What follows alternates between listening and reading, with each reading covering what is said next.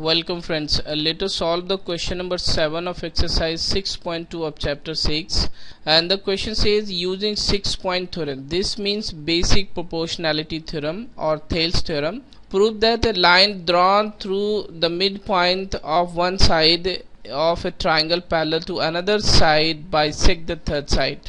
This is very interesting question. Let us solve it first of all let us draw a rough figure of a triangle suppose this is the triangle ABC and this is the point D which is the midpoint of AB this means AD is equals to DB and we have drawn a line through this D which is parallel to BC and intersect AC at E then we have to prove that this AE is equals to AC so uh, let us see what is given to us.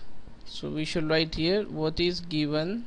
We are given a triangle ABC and in triangle ABC DE is parallel to BC and AD is equals to DB and this is because D is midpoint of AB this is given to us in the question and we have to prove that AE is equals to EC this is to prove. So let us see how to do it. Here we have proof.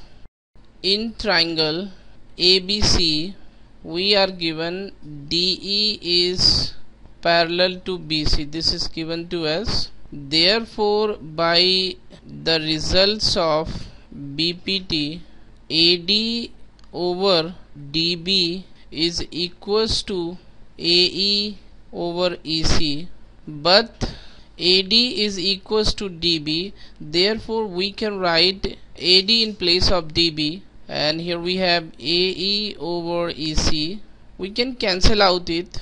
Then it will be 1 over 1 we can cross multiply it. Then it becomes AE equals to EC so this is what we wanted to prove. This is the solution of the question. Thank you